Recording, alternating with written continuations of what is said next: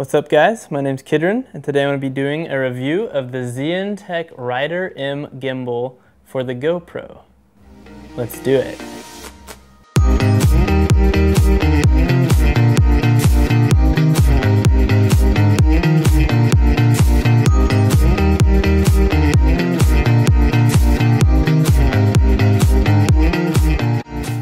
So I got this little guy a couple weeks ago. Obviously, it's an electronic gimbal and there's a GoPro mounted on there. As far as I know, the only camera that you can really mount on this is one of the Hero GoPros. Um, there might be others that you can mount, and I know for the new session, there's a, another adapter that you can get to mount that on there. But I've just got my Hero 4 Black on it, and I've been testing it out, taking it out, getting all kinds of footage, and uh, I, I really like this thing. It was really, really easy to set up.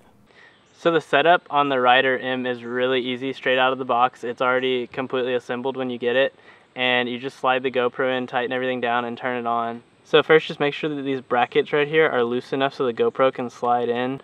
Slide the GoPro right in and then lock everything down. From there, it's just two steps to turn it on and get it stable. Right here's the power button. You hold this down for just a couple seconds and this blue light will start blinking. So right here, the blue light's blinking. And on the other side, there's a menu button that you can go through settings, but you hold it down, one, two, three, and boom, it's on right there. I mean, right out of the box, I didn't have to do any calibrating, anything. It's just stable from the get-go. Um, I would recommend mounting it before you turn everything on. So I'm just gonna hold the menu button, one, two, three. Now it's down, it's asleep. And then I'm gonna mount it on the stick I'm gonna use, and then I'll turn everything back on. So it comes with this little adapter that can be attached to any GoPro mount. So I have it just on the little L adapter that comes with the GoPro on a Go scope and it screws in the thread on the bottom. Once you get it on there, get it pretty level however you're gonna be using it. Do the same thing, make sure it's on, the light's blinking, then hold the button one, two, three, and you're ready to go.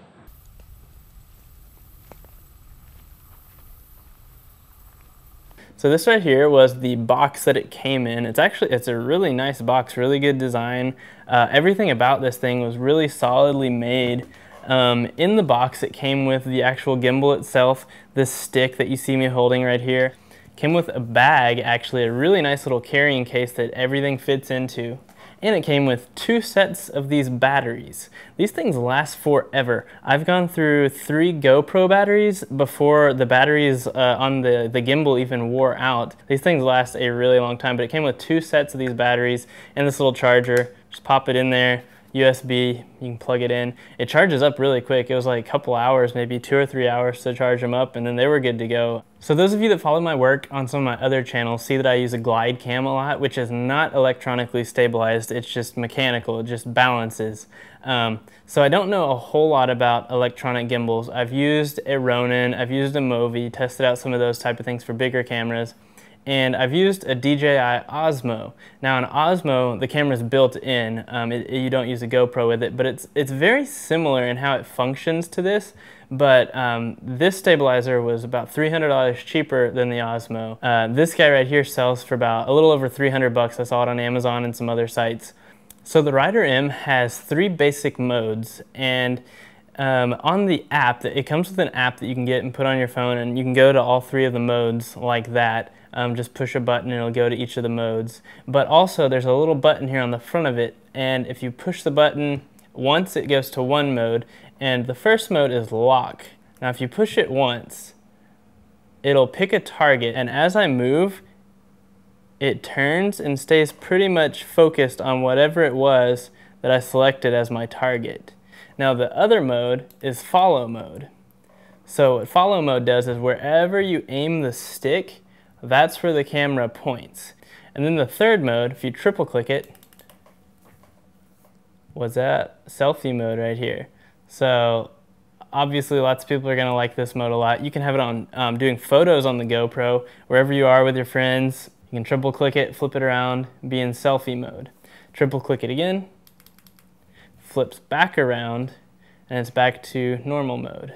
I think it defaults to follow mode, Um, but all three of the modes definitely have their uses. So for such an affordable little gimbal, it, it does a lot of awesome stuff. I went, I put this thing through a lot. We went hiking, uh, climbed up and down rocks, beat it against some stuff. Every time it would take a hit or a bounce or whatever, it would, you know, it would just respond really well. It, it, it never just kind of goes crazy or anything. Obviously with any electronic gimbal, you're gonna have in some weird situations, some weird angles, it's going to have that little bit of electronic lag where it's catching up that obviously it's electronic, but you'll get that with pretty much any electronic gimbal.